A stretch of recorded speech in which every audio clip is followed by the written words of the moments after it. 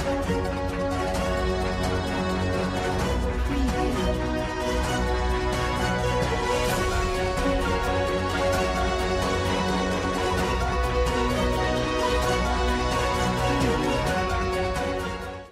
sore pemirsa di mana pun Anda berada.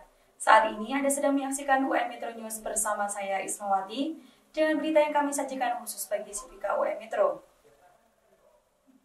Pemirsa, TK Aisyah Purwo Asri Kota Metro menggelar acara pelepasan dan wisuda tahfiz dengan mengusung tema wujudkan kreativitas dan inovatif untuk generasi Islam yang unggul dan Qurani yang bertempat di halaman TK Aisyah Purwo Asri Metro Utara pada hari Kamis 13 Juni 2024. Taman Kanak-Kanak Aisyah Purwo Asri Kota Metro menggelar acara pelepasan dan wisuda tahfidz dengan mengusung tema Wujudkan kreativitas dan inovatif untuk generasi Islam yang unggul dalam Quran. Pada Kamis 13 Juni 2024 bertempat di halaman TK Aisyah Purwo Asri Metro Utara.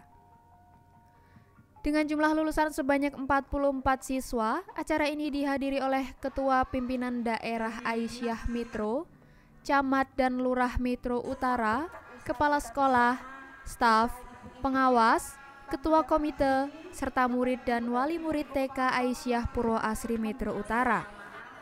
Purwani selaku kepala sekolah TK Aisyah dalam sambutannya menyampaikan terima kasih kepada wali murid yang telah hadir dalam acara pelepasan dan wisuda tahfidz di TK Aisyah Purwo Asri Metro Utara.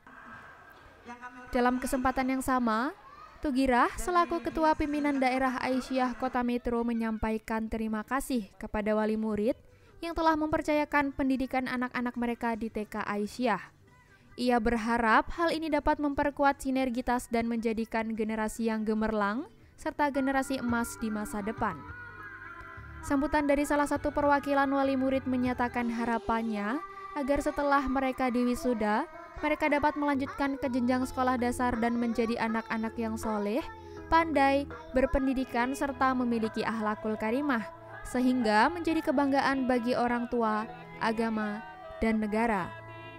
Kegiatannya bertujuan untuk uh, promosi kepada bapak-bapak wali murid, kepada masyarakat, karena kami uh, mengundang tokoh-tokoh masyarakat, tokoh-tokoh agama, guna untuk uh, mensosialisasikan tentang sekolah ini untuk lebih maju ke depannya.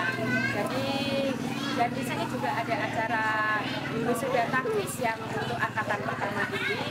Uh, kami berharap itu ke depannya uh, taktis ini akan selalu berkembang di TK Aisyah Goro Asri Metro Utara. akan membentuk anak dan nanti kami juga TK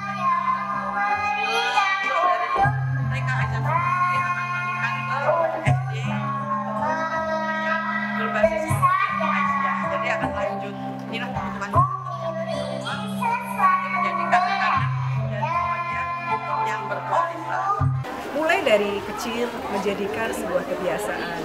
Insya Allah dengan seperti itu menjadikan kebiasaan yang baik ke depan.